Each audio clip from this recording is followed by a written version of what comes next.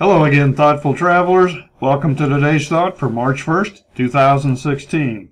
It's by Anaïs Nin, a French journaler and author of erotica. She lived from 1903 to 1977. Throw your dreams into space like a kite, and you do not know what it will bring back. A new life, a new friend, a new love, a new country. So what are your thoughts on today's quote? Here's mine.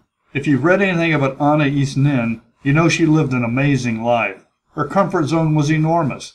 When she says throw your dreams into space like a kite, you know she wasn't afraid of anything. She even had two husbands at the same time, one in New York and one in Los Angeles.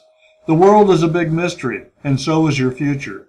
If you want to live it to the fullest, you must at some point abandon the status quo and take a giant leap. You might be surprised by what awaits you, how well you embrace it, and how much it adds to your life.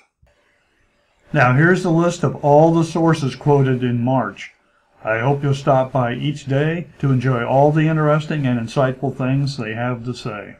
And leave a comment. I'd like to hear your thoughts too. Thanks, and see you tomorrow.